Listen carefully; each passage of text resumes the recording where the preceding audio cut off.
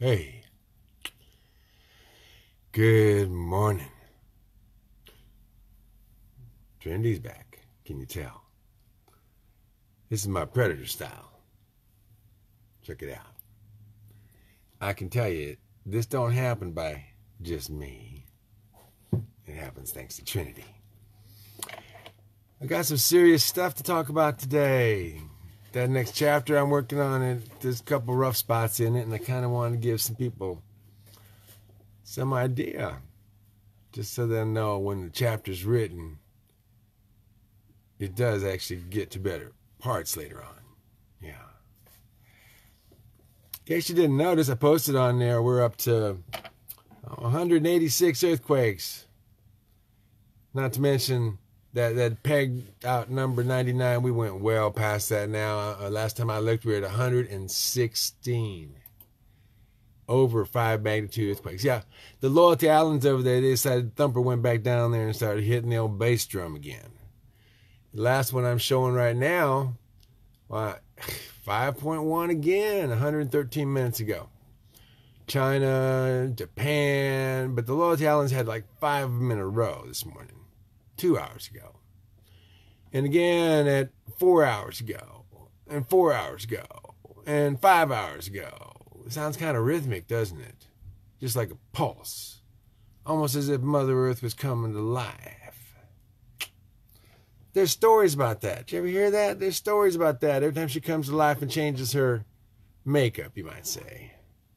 Hello, Pamela. Tina. You know, I kind of figure more people are going to be sitting in their house today.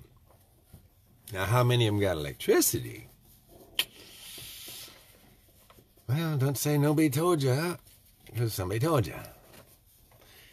And the climate. Hey, by the way, does everybody see the climate is thawing in D.C. in spite of all this snow? Why? They just unfroze the pipeline. Acquittal. You know, truth busting through the blockade of barriers beavers built, lies, logs of bullshit all piled up. They got blown out. Damn it. Oops. So, Tuesday afternoon unfolds. We're talking about 1049 millibars. That's 1049 millibars over central United States. Now, this is not meaningful to most people, but let us say this. That's a lot of pressure on the surface of the ground. It's a lot of pressure on people. Believe it or not. If you got bad bones, if you got steel plates in you, that barometric pressure, you know what I'm talking about. Goodness. Then add cold into it. Freezing cold, where the steel pins in you just start to ache and hurt. There's so many people suffering out there right now. I, I want to give you my sympathy, my empathy, I should say. I'm bad on sympathy, but empathy I will give you. Hey, Shelly. Lori, my goodness, we got a bunch of good people on Terry. My goodness. Hey, um, by the way, this is not supported. You don't have to pay anything. There's no well, there's a monitor who doesn't work. There's a cameraman, a light man, a makeup man, a costume guy, but they don't ever get any credit or get paid. So, just so y'all know. Same on my websites, uh, on my uh, YouTube channels. Can't get any money out for some reason. So, um, I do want to go ahead and let y'all know, especially the ones that just zip me a little text. I'm online trying to do something here. Um, pipes are frozen, and, and know what? Hey, I'm sorry, Renee, you are just the beginning. There are going to be pipes frozen in places nobody even knew could freeze. In streets. We already got mains. The city mains are busting in Luling, Texas. Now I'm telling you what, Luling is down south. I mean, like, we don't do that down here we are now. It's not that we didn't think it was possible, but you know how impossible. What, what's impossible mean? What can you do? What's possible and what's not possible? Now, put that in God's court. What's possible? Well, I want to tell you, we got problems. 60 mile an hour winds, blizzards coming across New Mexico and Texas and through Dallas. Dallas is getting into the serious cold temperatures. We're talking minus 12 in Amarillo, guys. I'm not a weatherman. I'm not a doctor. I'm not a commentator, I'm not a newsman, I'm a fictional writer working on a story, and these are the conditions in which the story is being written in, and thankfully you all are there to be a watch because you got no place to go. If you're smart, don't get out on the road. Hey, Audrey. Uh, man, Southern Missouri is going to get cream too. This is um, for you guys in the middle of the country. Mm-mm. Three foot of ice on the water tanks. Yeah, we're going to start seeing some roofs crushing in. We're going to start seeing some really sorry consequences to this. Animals dying, pets dying, people dying. I wrote a little poem. I couldn't help it. Death calls with an icy sword, taking lives of all forms known. Plants and pets, those in the wild. This cold brings death, nothing mild. Prepare to stay warm now with plenty of water. Care for your friends, the elders, and others. Pray for the homeless, the stranded, alone. Care for your friends, the elders, and others. I want you to pay a lot of attention to that. I break rhythm because right now,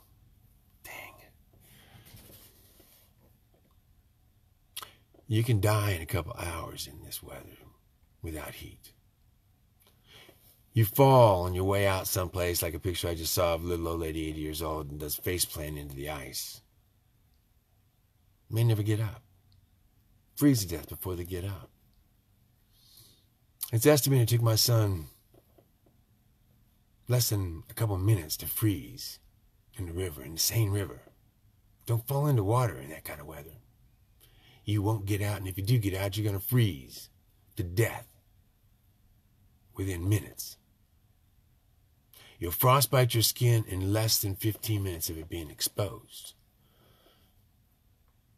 Yeah. You can literally frostbite your eyeballs. You can literally frostbite your face, your cheeks, your skin will rot off your face in the weather we're getting up north right now. If you're unprotected and you get out there and you don't plan for it, and in the old stories all the time, people leave their front door to go out to their garage and never make it for the blizzard being blown away, literally blown out of their path and not being able to see or find their tracks to get back to their house. That's what a blizzard is. 35 miles an hour with heavy snow. We're going to be having 60 mile an hour winds with heavy snow coming from New Mexico into Texas. 60. That'll blow you down. And if you're a poor cow, a horse, well, let's just say the toll is going to be heavy. Prepare to stay warm now with plenty of water. Care for your friends, the elders, and others. Pray for the homeless, the stranded alone, those without power, those without phones. Know this will last for much longer than past.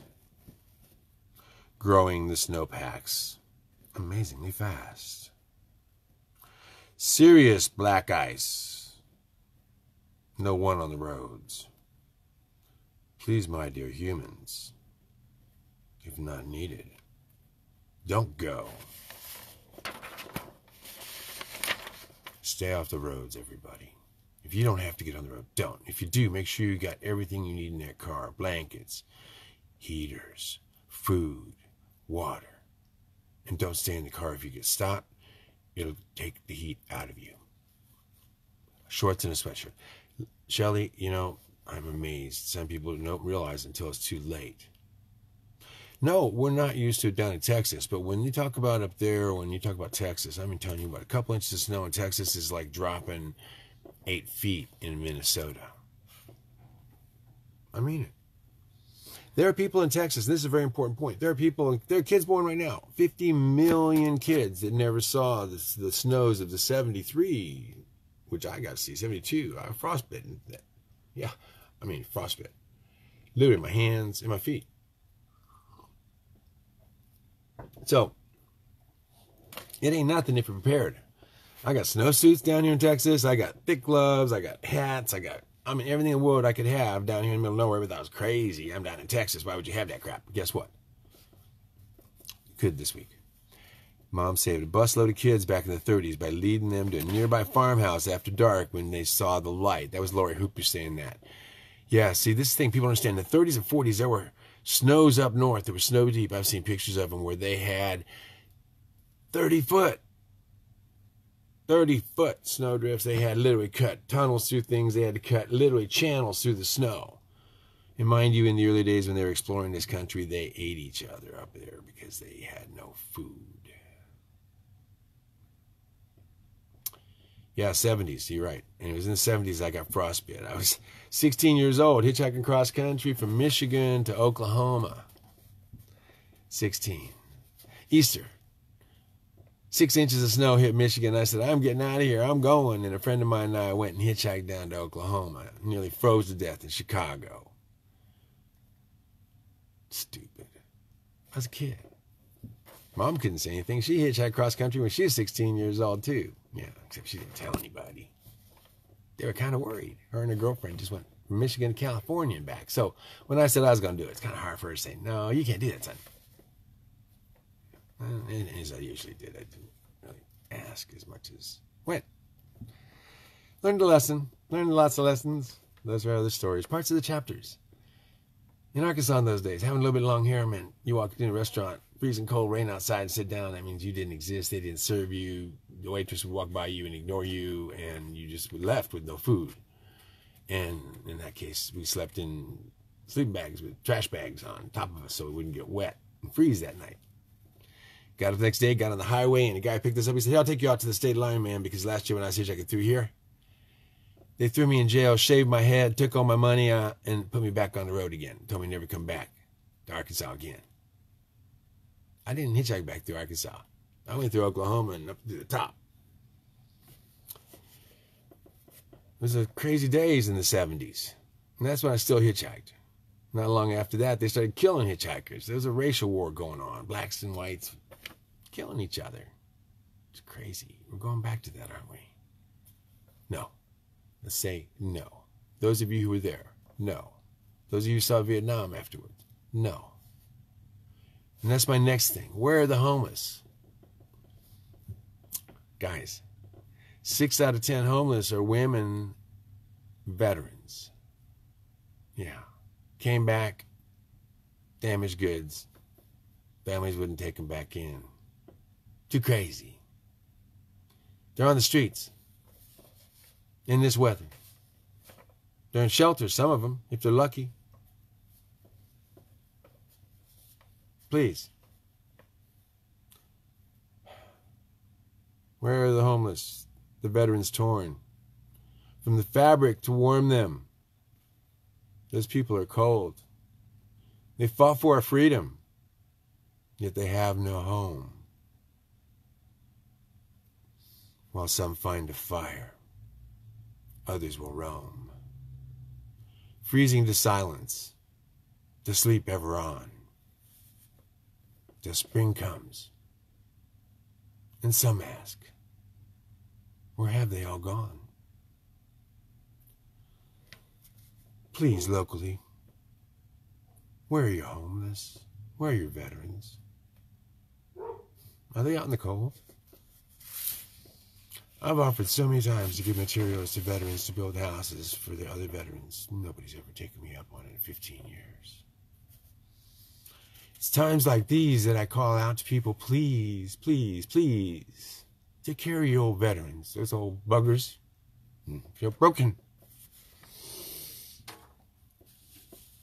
Hmm. Now more than ever, they need your help. Please, pay attention. Right now they're hungry, they're cold, they're alone. It's Valentine's Day. Where are you? Cozy? Warm? Got your food? Didn't bother to look out the window see if there's anybody out there sleeping in the street underneath cardboard. Hmm. In a sleeping bag, maybe if you're lucky. Well, a place to stash their stuff in the daytime so they come back at night and have it. Probably like my son in Paris in his last days. Mm. Mm. And in the cold, when he fell in the water and drowned, or was pushed, or whatever happened.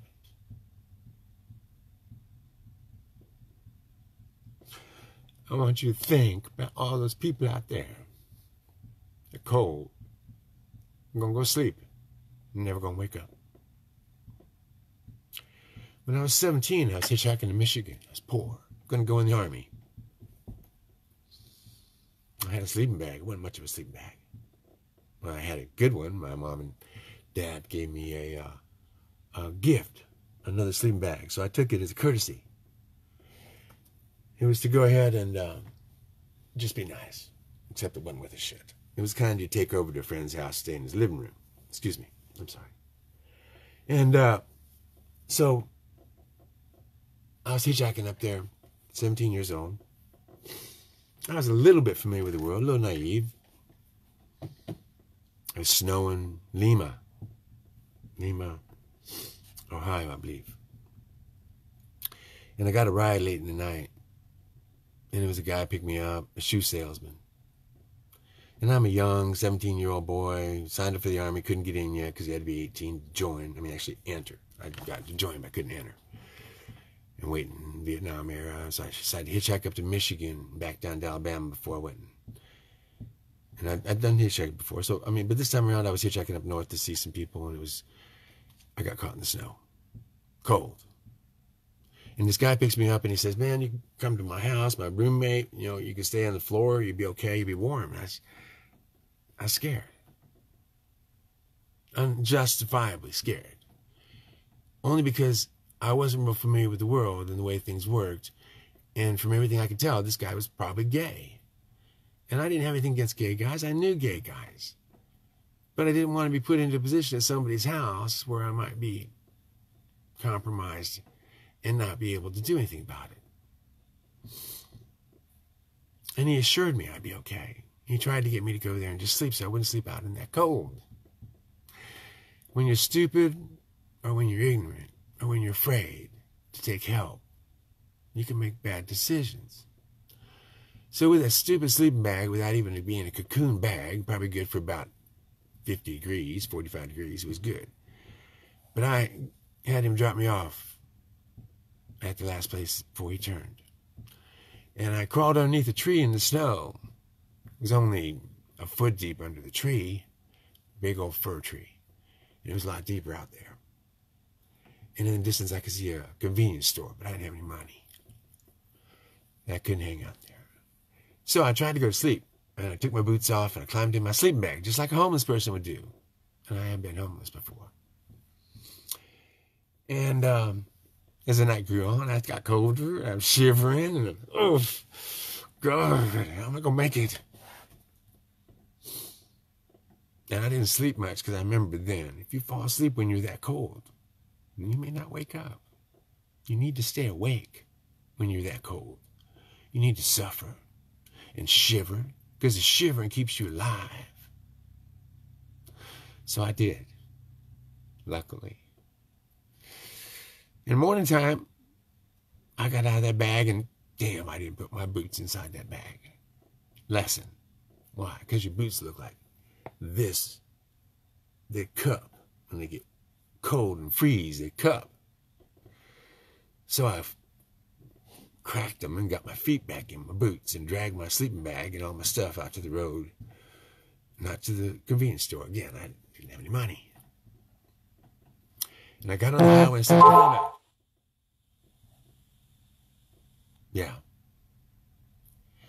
And I got a ride, and he picked me up. I didn't even roll it in my sleeping bag.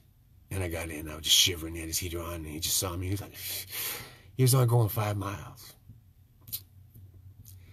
But he stopped when he let me off. Let me warm up.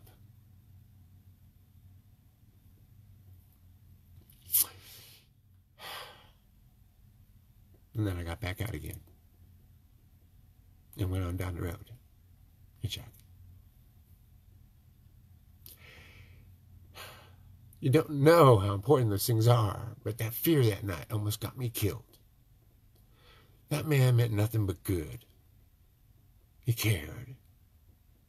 I was afraid. So instead of accepting that and sleeping on his floor in the warmth, I nearly died over my pride. The pride works in many ways. It can take you down. It can kill you. It can destroy your perception so you don't see what's being offered to you. You think it's possibly going to hurt you instead of help you. And I want to tell you something. Right now, if you need help, don't be ashamed to take it. And if it's good people, thank you for giving it. Yes, people will take advantage of you in hard times. I'm not telling you don't keep your sensors up. I'm not telling you don't let your instincts drive you to some degree. What I am telling you is this, guys. Think about those other people out there right now. This is some really serious crap right on top of other serious crap. Yeah, we got in a little bit of truth. Yes, we broke through one more dam, one more barrier. Liars and thieves. But in the meantime, we crippled our country at a critical time. We got no trucks running. We got nobody in the top that gives a shit about anybody at the bottom. Luling, Texas today, we got foreign troops going through our town. Videos of military equipment, and it's not ours. Why? Don't know. Maybe to help give vaccines out, they say. Maybe. Why do we need help from other governments right now? Please tell me.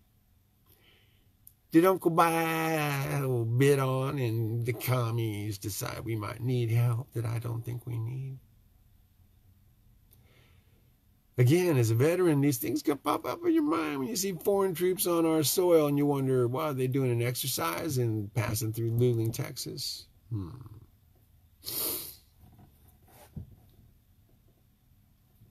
in my fantasy story, of course, of Wibblry and Wub, about that world union of believers that we, all of us eyes, are forming.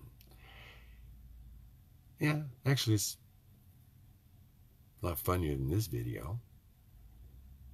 So I'm going to go ahead and sign off for now. I want y'all to understand this. You're not alone. We will get through it. There is a light literally a light on the other side of the horizon. I want to make it really clear that it's unwarranted right now to be in fear. Fear will kill you, distorts your perception, screws up your ability to make a clear and smart decision. Fear is what they're using. I say they, and that would assume that maybe there are forces at work, the yin and the yang the good and the evil. Imagine that. But I want to assure you, yes. And I do this from my heart, believe it or not. Not for money. Not for donation. I don't even think I have a place where you could donate, do I? No.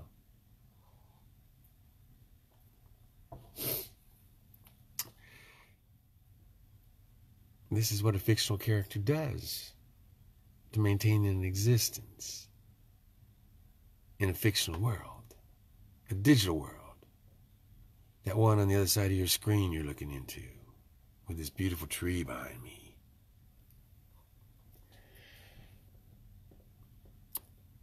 There is something important going on right now, guys. A lot of distraction a lot of lies. A lot of people who believe the lies. Now, I want to assure you this. There are legions, legions, warriors of light. Now, you wouldn't know they're all here because that wouldn't be right. But I want to assure you something. That sort of fabled white hats, the backup from other places, other parts of the cosmos, maybe where others more intelligent, maybe more peaceful than us have been around for so long we can't even count.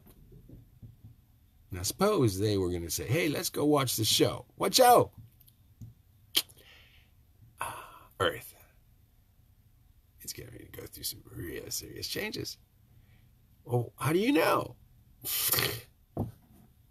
Come on, guys. God knows what's going on. You don't think he's sharing it with all those minions in the middle, the legions of light? How do you think we got here? Yeah, we volunteer. We sign up. Mm-hmm. Some of us nickname indigo and all sorts of other things. You take form, you take body, you incarnate. You take on this gelatinous shell, shape it, and experience life as a being. To understand how this system works. To help know the difference between the wheat, the chaff, the weeds, the bugs, the pests. All created for a purpose. To teach us. To experiment. To play I don't mind being an object to be played with by God. That's what I'm here for. Part of the plan. Except it's fluid. It can change. We do make a difference. Me. Long time ago when I was a kid, they said, What difference can one person make? As I was growing up, I saw JFK. I listen to his words still. I assure you, that one man made a difference. I have a dream. The man that made that line famous, one of my favorite men on the planet.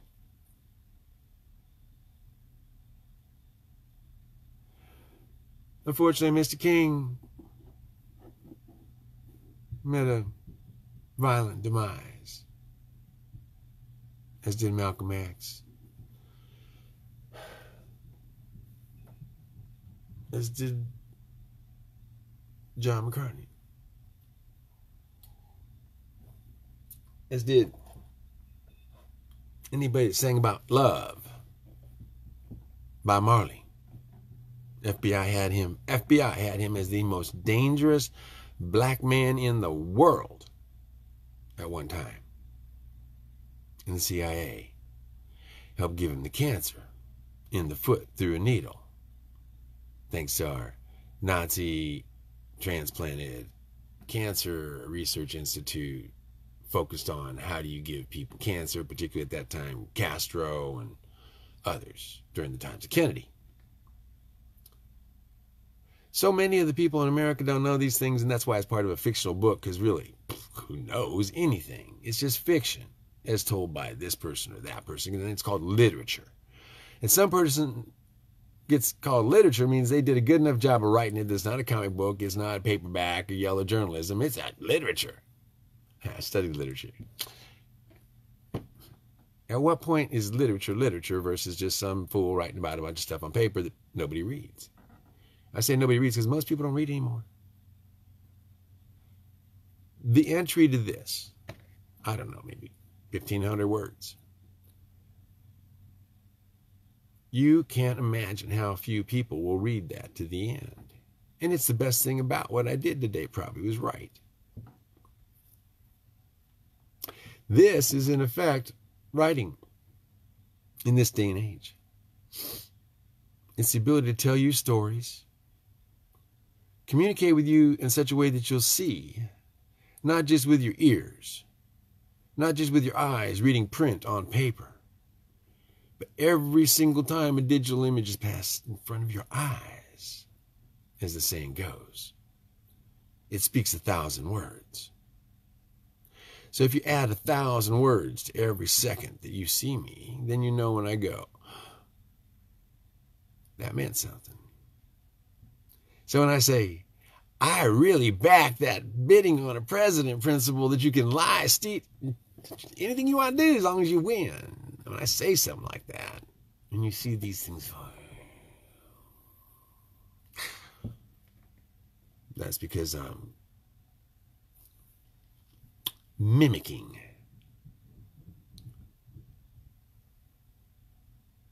Mimicking.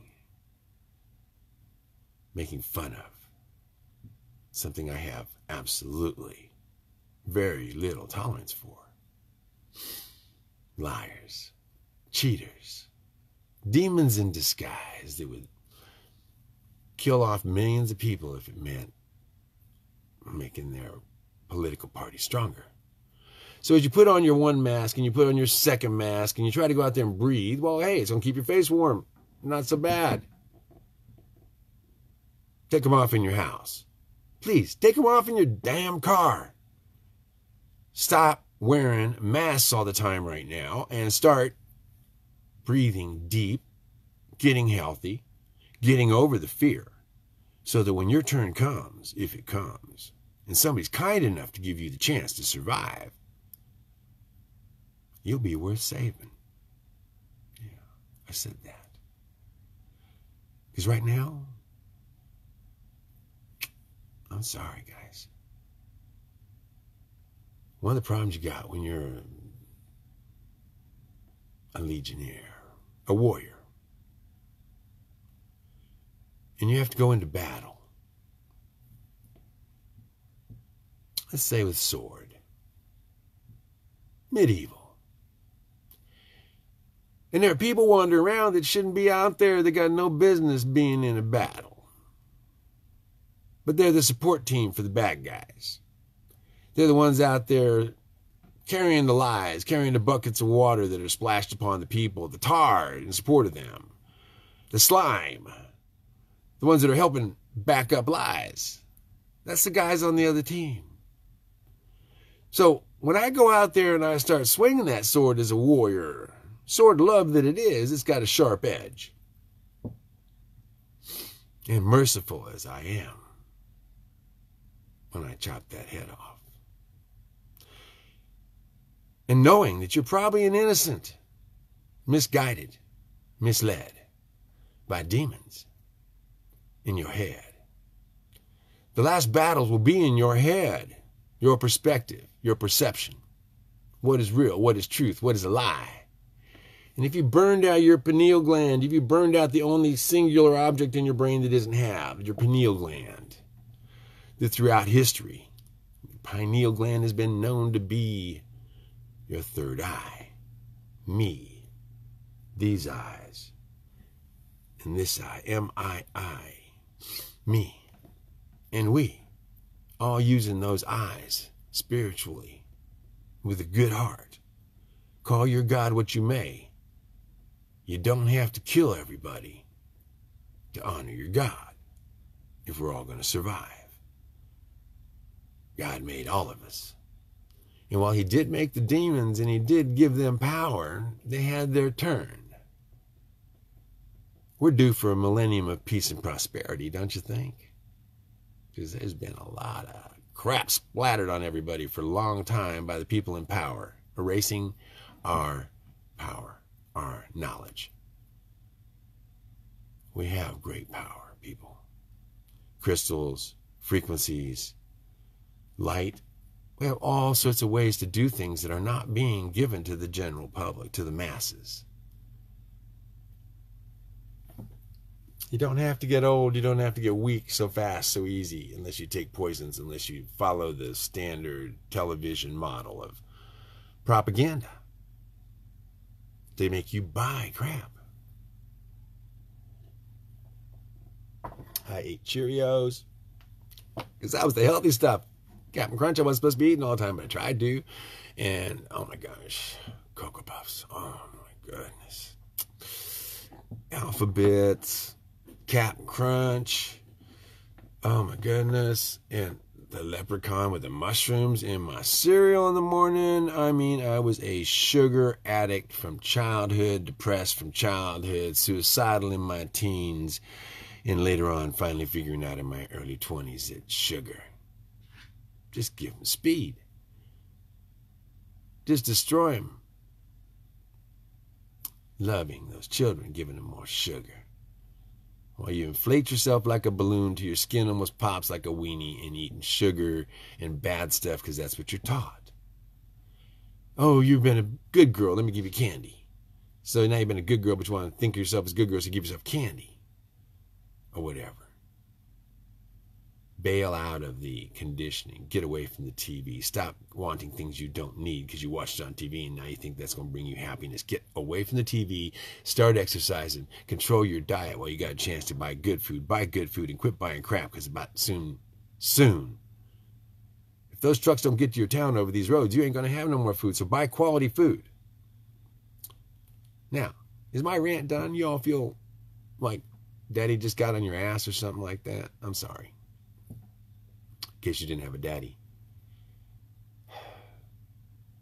Let me fill in just for a minute. I know what it's like. Hmm. My dad was gone a lot. War. And didn't come back the same man. I don't want to see more war. I know what daddies come back like after war. All you kids out there that went through Desert Storm, they went through all that shit. You know what I'm talking about. Same with you women. You went to war, come back. Same game. Memory wipe doesn't work. There's no Dr. Spock to go, and you're better. When my dad came back, they didn't even know what PTSD was. In World War II, it was shell shock. They came back and they just kind of held out in a room and nobody bothered them and they were kind of just leave them alone shell shock, PTSD. We got so many names for this stuff, so many ways to tag people, but ultimately,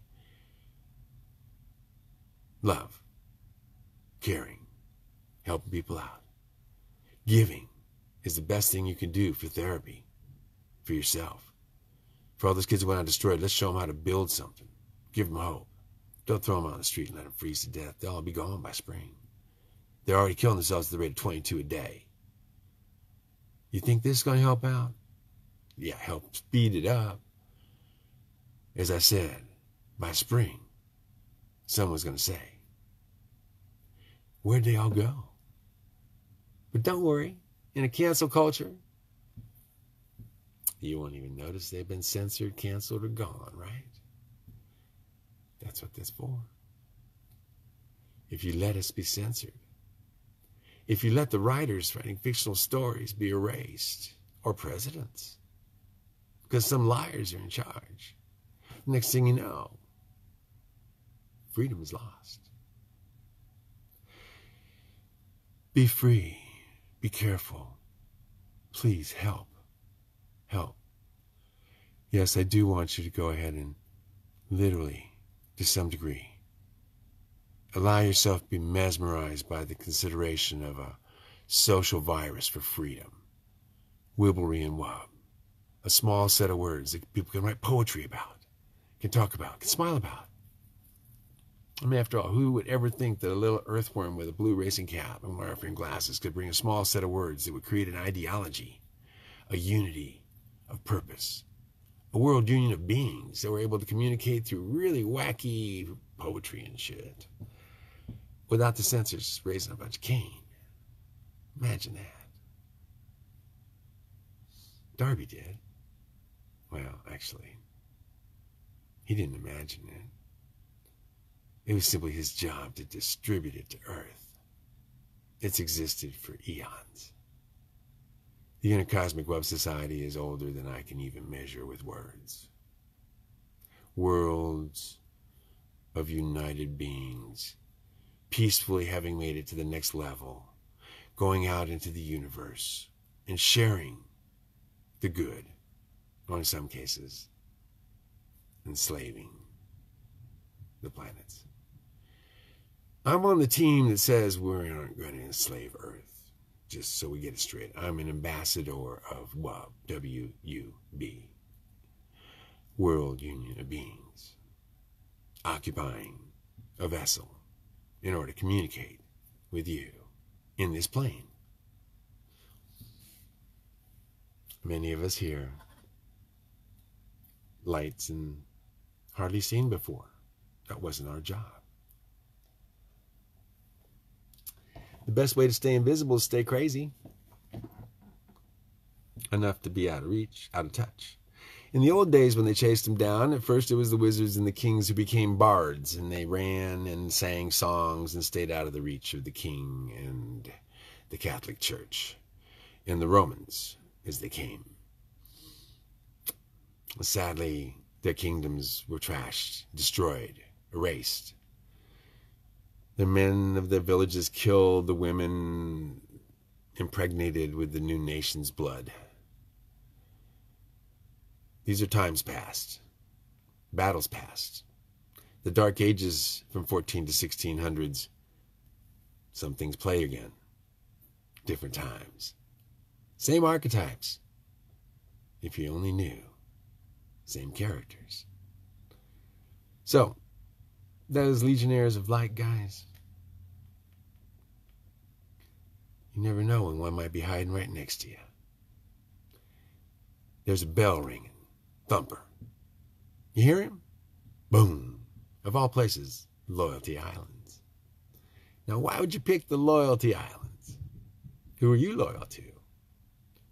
Who has the power to thump the earth and wake everybody up?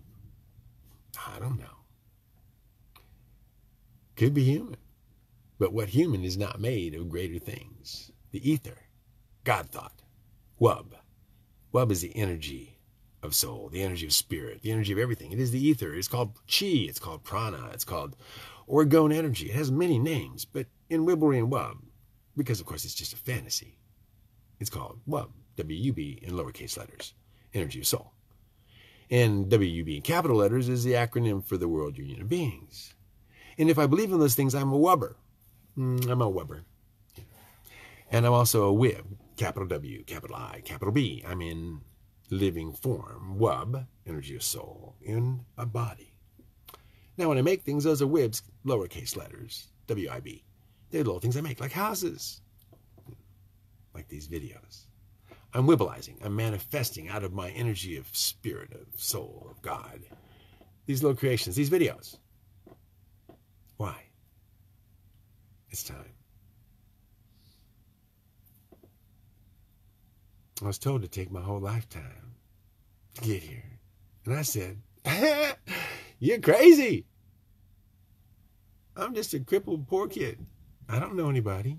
I got no chance in any way, any form or otherwise. Why did you pick me, God? Why is it my job?